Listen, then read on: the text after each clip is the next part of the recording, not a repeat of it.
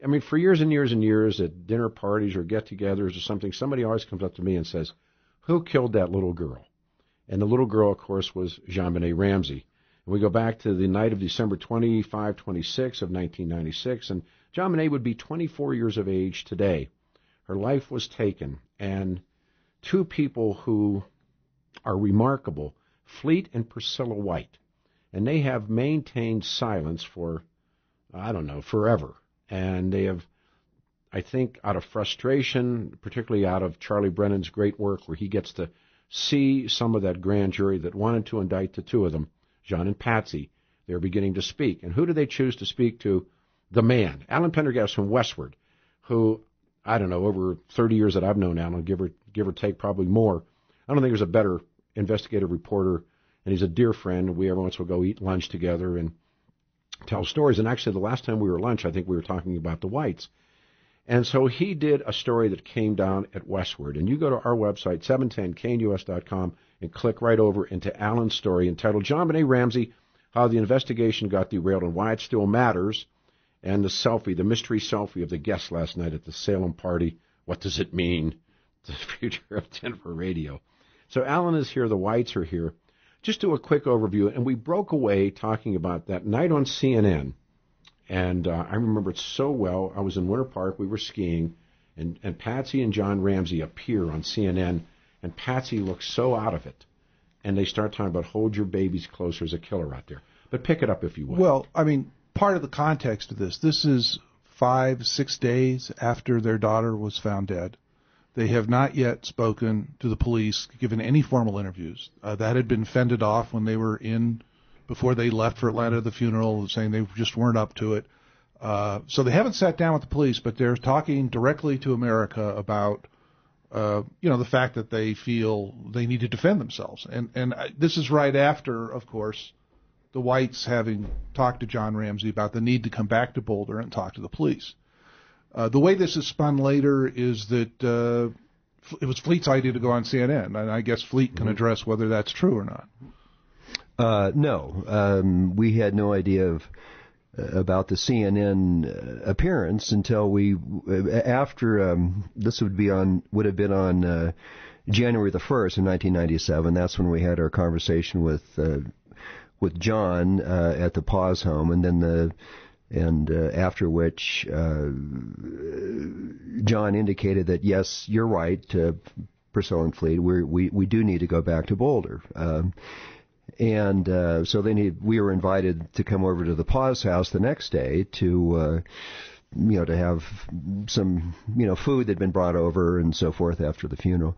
So we did. Uh, arrived there in the morning and and uh, uh, and, and we were told, I can't remember who, who, who told us, that John and Patsy were waiting for a car that was going to be coming to pick them up, uh, uh, to take them into, into, into Atlanta to, uh, to make an appearance on CNN.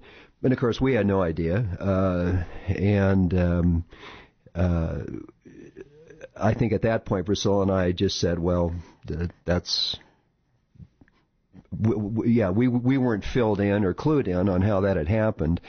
Um, I think it's been speculated, I guess is the best way of putting it, that that perhaps Rod Westmoreland uh, had arranged, had actually made the arrangement with CNN, but I don't know that to be true. Um, uh, so at that point, uh, Priscilla went in and I think helped Patsy out, uh, getting ready to go to the into town, and then uh, and I um, just kind of sat with John. He, he had he had very little to say and uh, about it, and I didn't ask. Um, and so the um, car came, uh, and uh, they got in and drove into Atlanta to do the show. And of course, we. Uh, you know, the rest is history on the on the CNN interview. But to answer your question, Peter, no, uh, we did, we had no knowledge well, they, of the C- CNN inter- interview. Uh, and she wanted to. Is it true she wanted to wear diamonds?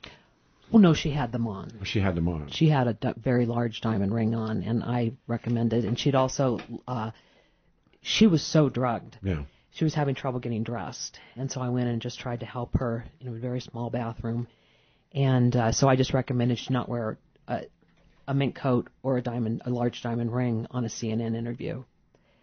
Um, and that was that moment where she said, "Hold your babies close," and she's clearly, I mean, as someone in recovery, I know it when I see it, and she's out of it. She's totally out of it, and uh, you wonder what the thinking was to put them on national TV. Except she wants to. I mean, they're, again, they're already laying the blame someplace else.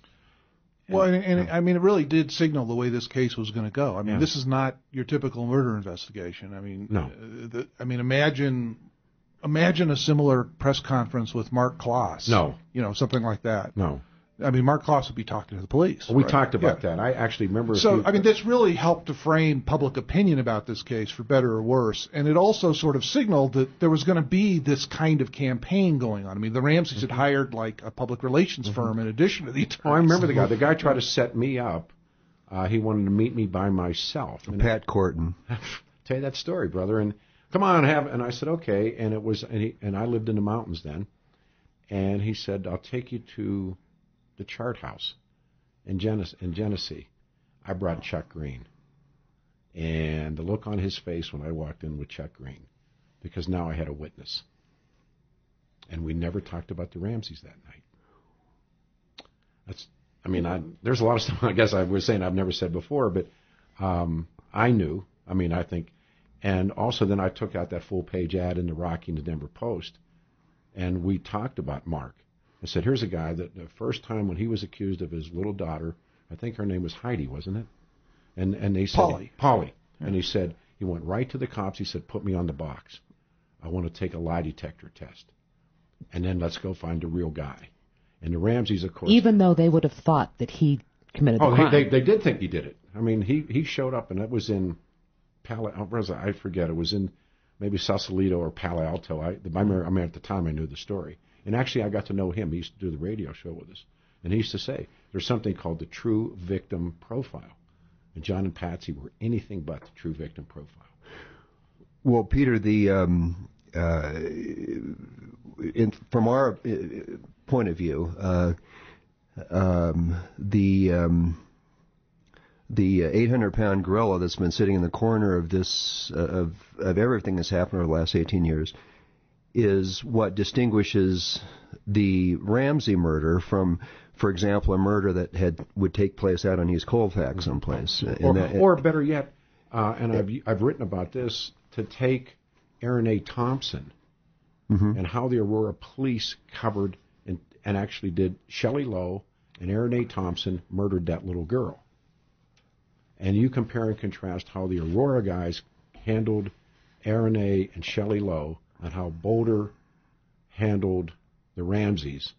And I remember at the time, uh, Alvertis Simmons made a big deal out of how the cops they were handling Aaron and Shelley in the absolute correct manner. But what Alvertis did, he says, "Cool, compare and contrast it to these wealthy white people in Boulder, and you come up with two, you know, we talk about tales of the city.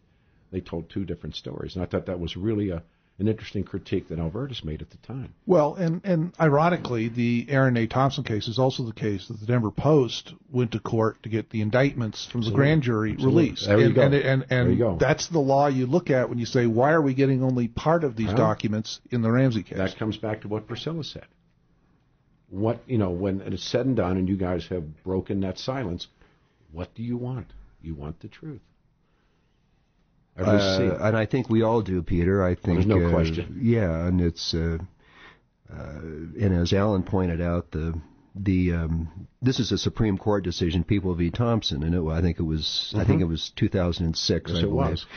Um, and there's no question uh, that the um, that it, within the context of the Colorado Criminal Justice Records Act, um, in, uh, under which the the Denver Post asked for the entirety of the uh, of the uh, the People v. versus Thompson uh, indictment Absolutely. um, that had been redacted by the Arapahoe, well, by the district attorney, and then and the, and the, those redactions were, um, you know, upheld by the uh, by the Arap- Arapahoe uh, district court.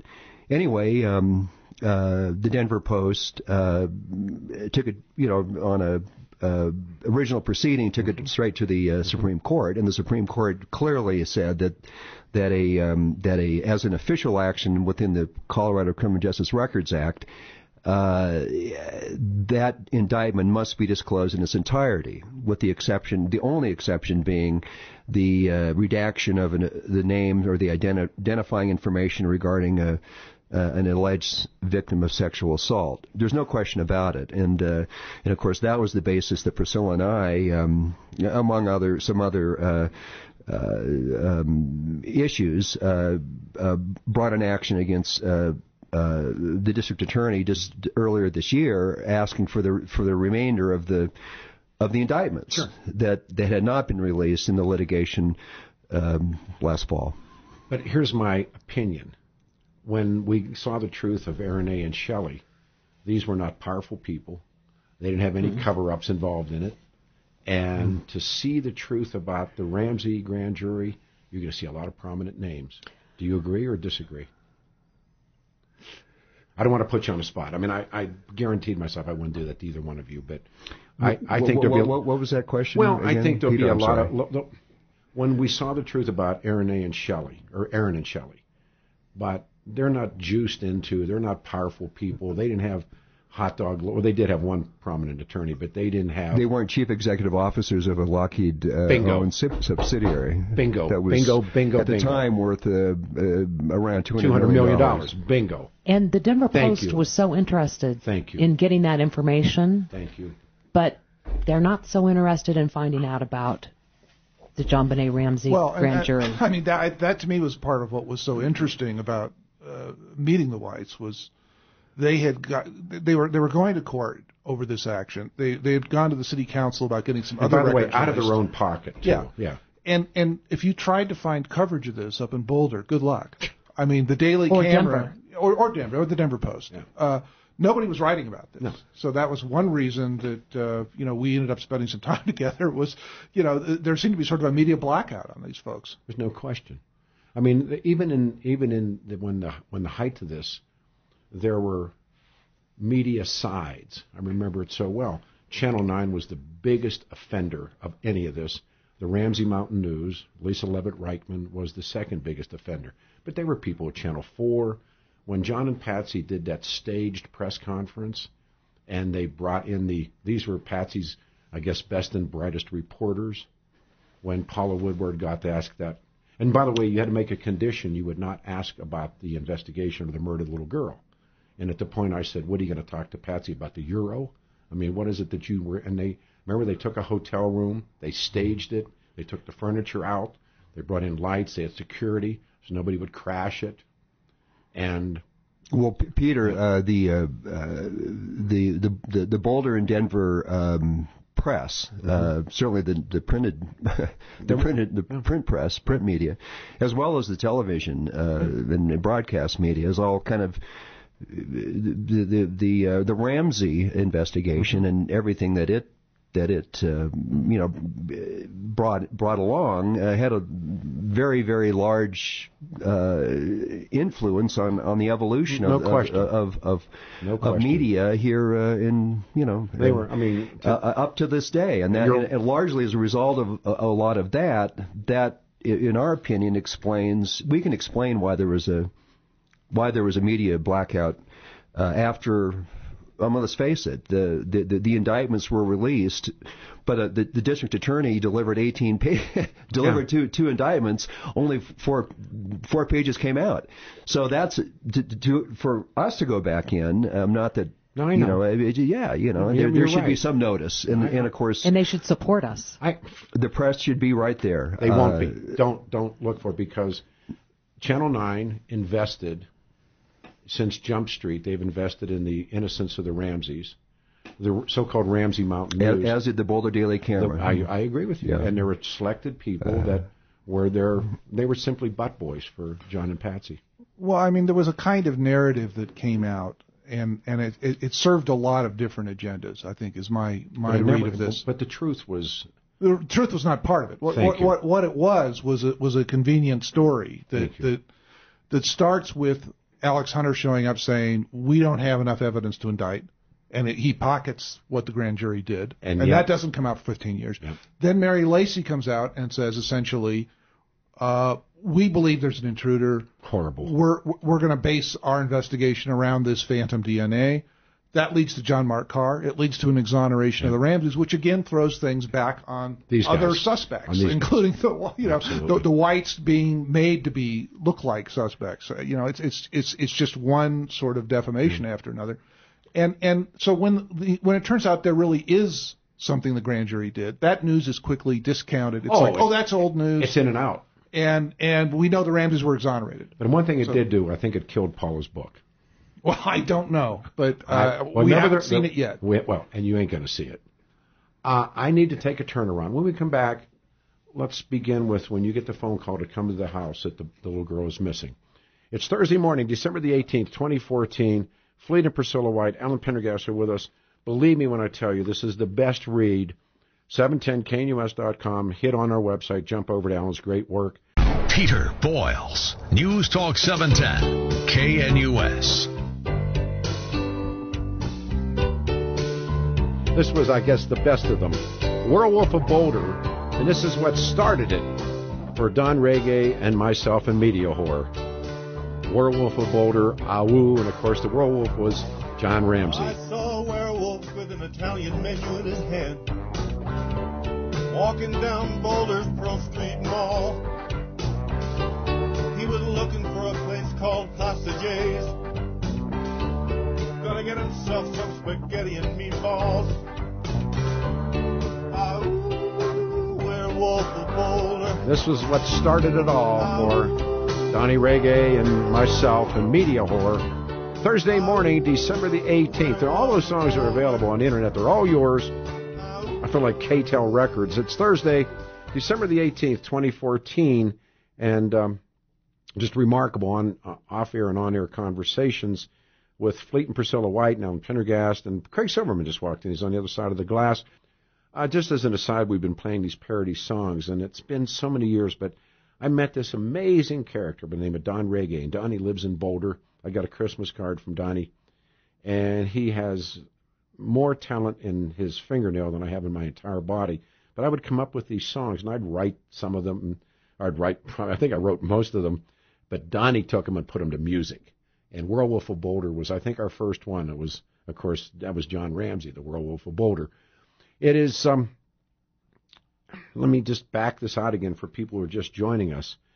Yesterday, Westword's Alan Prendergast did, I think, the all-time best thing in the story of the Ramseys that um, anyone has ever done, and it's up on our website, 710knus.com. You can click across. In the studio, two brave people have been through quite a white, quite a lot. Fleet and Priscilla White, and there was a moment, and we were talking about the Boulder Daily Camera, Miss Krebs' story. Alan, I'm going to let you begin that part of that story. Well, I mean, yeah, we I, I, we were talking about the way the media played in and out of this, and access issues being important, and people picking sides. Uh, the camera had always been very sympathetic to the Ramseys and critical of the police, and suddenly, about three months after the grand jury was over, this story surfaces on the front page of the Daily Camera, and and, and the Whites have told me they got a call, I think, about it ten o'clock the night before, last second. You know, you know you're in trouble when they call you for comment, like Yeah. at a time when they're not going to reach you, and Right. they're just sort of Or you're not available for comment. right, right. Um, and this is a story, and it's copyrighted, and it's by Barrie Hartman, who doesn't usually do reporting. He was the editorial page editor. And it's a story about a mystery woman from California who may be providing a significant breakthrough in the Ramsey case. And she has a story about being sexually abused all her life since she was three, and this shadowy ring of pedophiles that were doing this, and somehow this is all connected to the Ramsey case. And, and these people are not identified, but the kicker is there's there's a link in the piece where it says, you know, she knows the Ramseys through the White family. Yeah. And so you have to assume that somehow they're connected to all of this shadowy activity. Um, well, as it turned out, the police had already interviewed this woman by the time the story ran out. They'd spent they'd spent five hours talking to her, and if you read those interviews, which the whites ultimately got released some years later, you begin to understand this this woman is is an emotionally troubled person and and this story is incoherent and it's easily disproven because she's saying things like her mother and her niece were at the mm-hmm. whites for Christmas Right. dinner with JonBenét and the family. I mean, it's pretty well documented who was at that dinner. I mean, Priscilla, you have photographs, yes? I mean, you, Correct. you know who was at your house for dinner that night. So, so this is an incredible. I mean, this is out of nowhere, and suddenly it's smearing these people. Uh, and and I think you know, it, it's you have to sort of construct how did this happen? Or why did it happen? Yeah. And as it turns out, again, this is stuff that you have to find out later. But I mean, Fleet can talk about the documents that were ultimately released and how this woman came to the attention of Alex Hunter, who endorses her in the story. Sure. Uh, this happened in uh, February of 2000, which was just four months after the uh, after Mr. Hunter um, chose to not, not disclose the uh, uh, the indictments, uh, and of course. Uh, Priscilla and I both testified before the grand jury, and and you know this is uh, years after the after the murder. The the investi- investigation been going on for for for some time, and um, I think uh, uh, certainly the the police detectives and and I'm sure that Alex Hunter knew who Priscilla and I were, and that. Uh, you know, um, they, they knew the um, the facts, uh, uh, you know, backward and forward, and and this we we testified. We were witnesses of the grand jury, and then. Uh, um, four months later, uh, as Alan mentioned, there's this headline, uh, a bleeding headline story about this woman from California. Um, she, uh, her grand, um, her grandparents were uh, old friends of my folks, and and my my mother would kind of keep in touch with. Uh, um, uh, with the uh, with her grandmother and send her you know Christmas cards and so forth. So uh, Nancy Krebs uh, had this portfolio apparently of of uh, family photographs, and that was her that was her um, uh, her big link to the White family, which she of course she presented to. To uh, a guy by the name of Lil Hill, Lee Hill, who had who had flown out there on on the Daily on Barrie Hartman's nickel to interview her. Um, it's a bit of a long story, but uh, I think the uh, the the um, uh, clearly the only reason that the Boulder Daily Camera printed the story is because Alex Hunter had en- had endorsed her uh, credibility, and and that was. Uh, uh, certainly um, uh, borne out later in our conversations with people that uh, who became for, uh, uh, former uh, Scripps employees and no, were no longer with their camera. And then later, in 2000, when we brought an action in district court to release all of the investigative records from the uh, Krebs uh, from the Krebs investigation, which played out over three months, which is uh, in, insane in itself.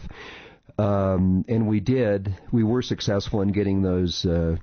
Uh, in getting her just her police interviews, uh, not the uh, uh, which is 350 pages or whatever it is of of of, of lies. but on the other hand, the district court did not release any of the investigative uh, uh, information in order to offset the, the lies. So the the internet went wild with all these uh, lies and, and no offsetting information and and uh, uh, so as recently as just this spring, we brought another action in in Boulder District Court to to obtain the investigative records from the from from the Krebs uh, fiasco and and uh, uh, and uniformly the, the the Boulder Police Department and the and the district attorney.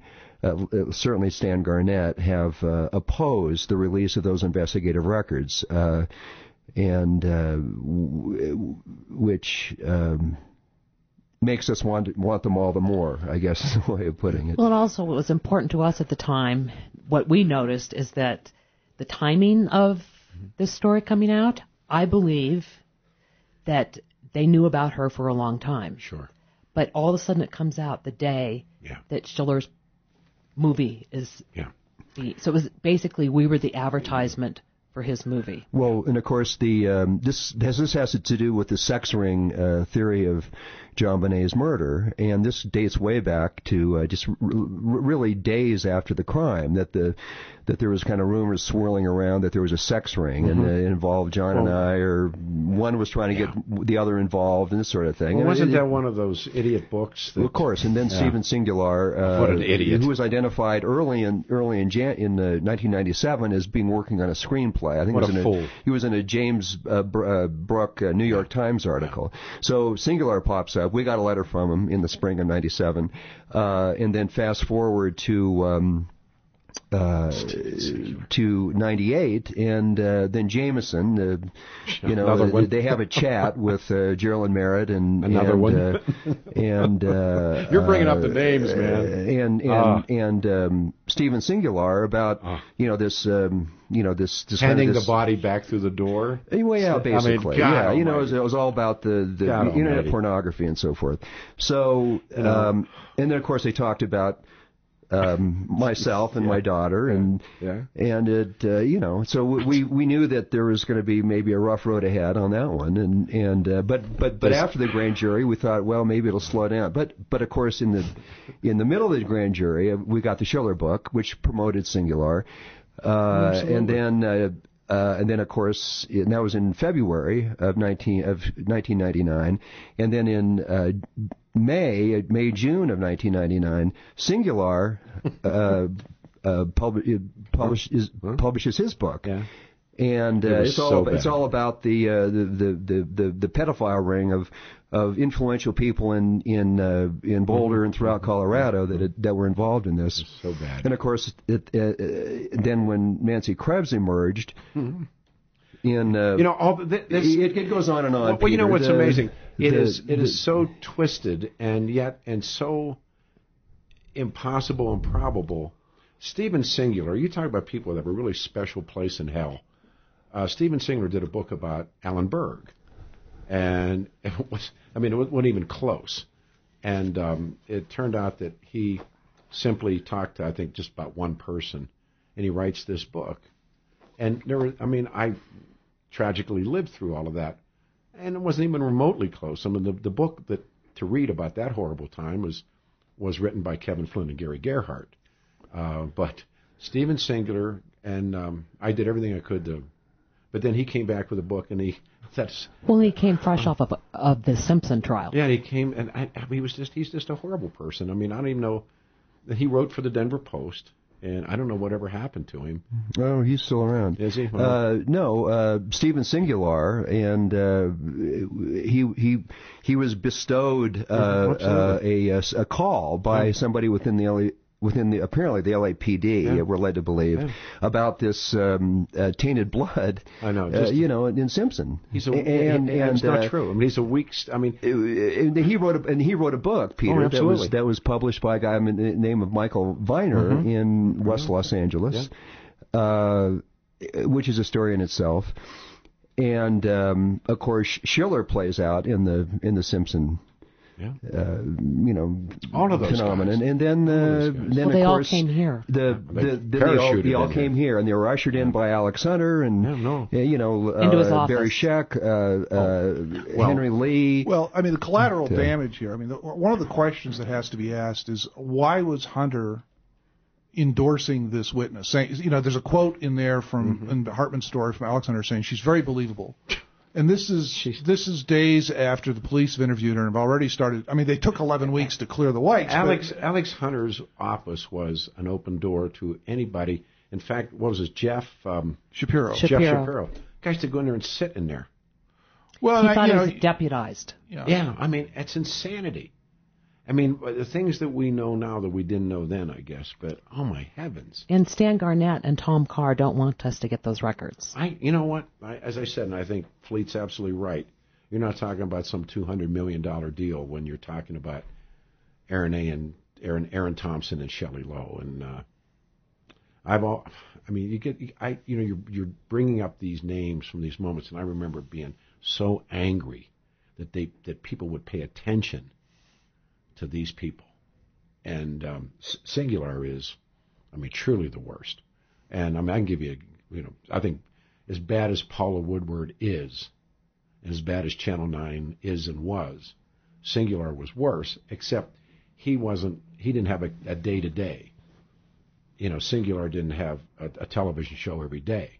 The Denver, po, or excuse me, Rocky Mountain News, which is owned by the same outfit as owned the Daily Camera, right? Right. Yeah. So they were. Um, I am close to Scripps. A, yeah, Scripps Howard. I'm close to a pause.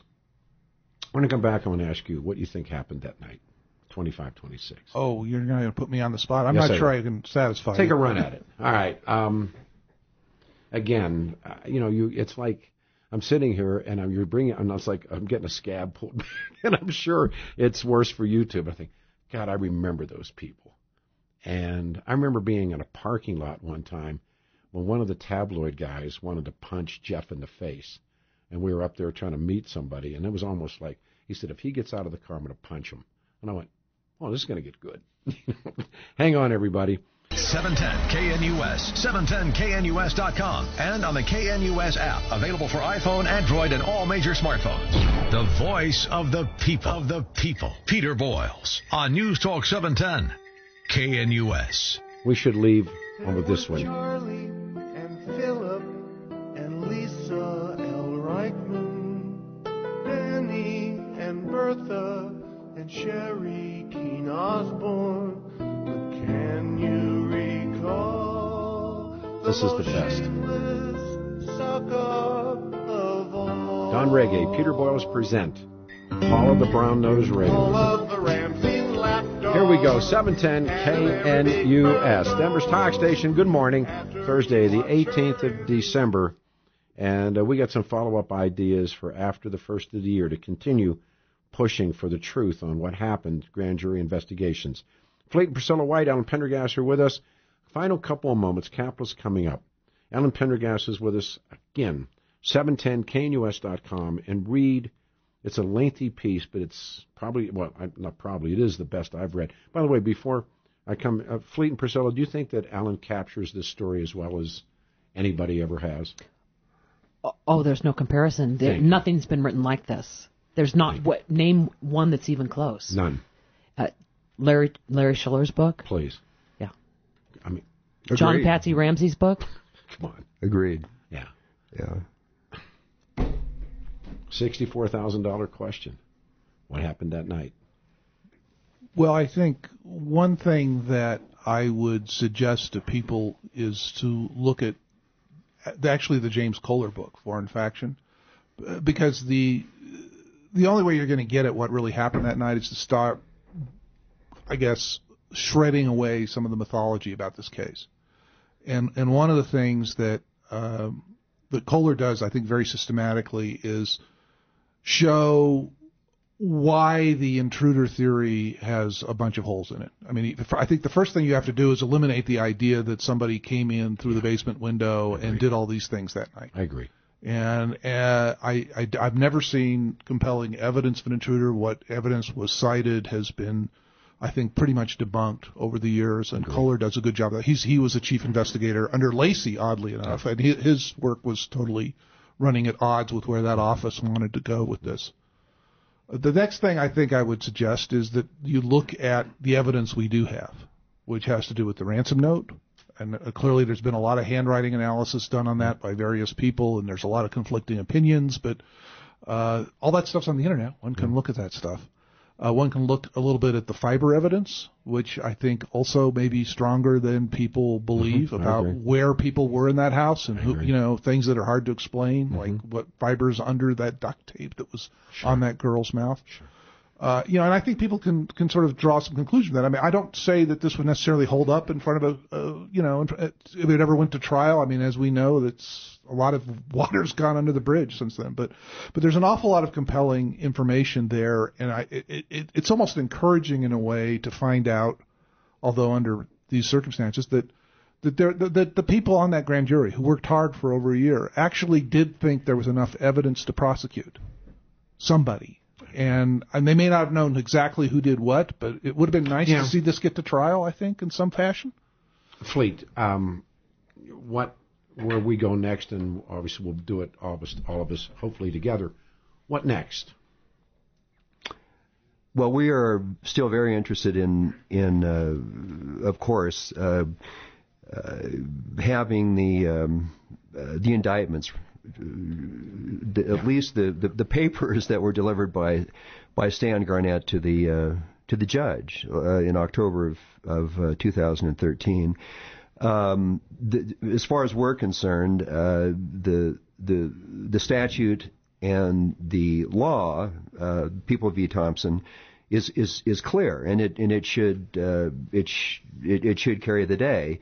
Um, unfortunately, uh, pro se litigants, especially in Boulder District Court, if it has anything to do with the Ramseys, are at a significant disadvantage, and we can attest to that uh, due to what was done, has been done to our attempts this year. To, on the one hand, to get the Krebs records, on which, as far as we're concerned, will be very could potentially be very telling about not just the Krebs episode, but also uh, you know other aspects of, of what was going on uh, uh, just generally uh, in the in the criminal justice system at that point in time. Uh, and then, of course.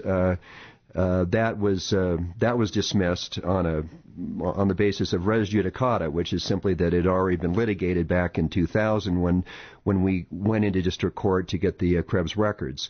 Um, and then, of course, uh, following that, uh, we filed the action against uh, uh, Stan Garnett, asking for the the the uh, remainder of the 14 pages, and any other uh, records of official action that, under law, must be must be disclosed. Um, and that, and the same judge, by the way, uh, who is the only judge on the Boulder District Court bench that can hear civil cases re- regarding the Ramseys, uh, any Ramsey-related matter, because all the other ones were were former uh, district Sure. attorney uh, uh, Staffers. staffers, Yeah, and now they, you know, because of that, they can't they can't hear a, a Ramsey civil case. In any event, uh, the same judge uh, dismissed, uh, uh, you know, our just a request for a show cause hearing under the under the uh, Colorado Criminal Justice Records uh, statutes uh, on the base on the same basis of res judicata because it had already been litigated uh, in the uh, when you know Brennan versus Garnett back in 2013. So we're I guess licking our wounds is the right way of putting it, but we haven't given up, and we're going to continue to try however we can to to get the Krebs records and get the uh, the indictments and um, anything anything else we can that that we can get under Colorado law that will shed light on uh, on what happened to the investigation and and hopefully uh, what happened to JonBenét. Priscilla. So we thank KNUS and we thank Westword yeah. and both of you because we need some help. Well, we're here.